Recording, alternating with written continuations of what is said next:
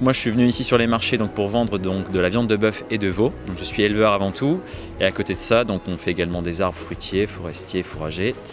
Et donc ainsi sur notre euh, camion, donc, qui est vraiment un food truck, donc alimentaire produit brut, donc la viande brute, mais aussi traiteur.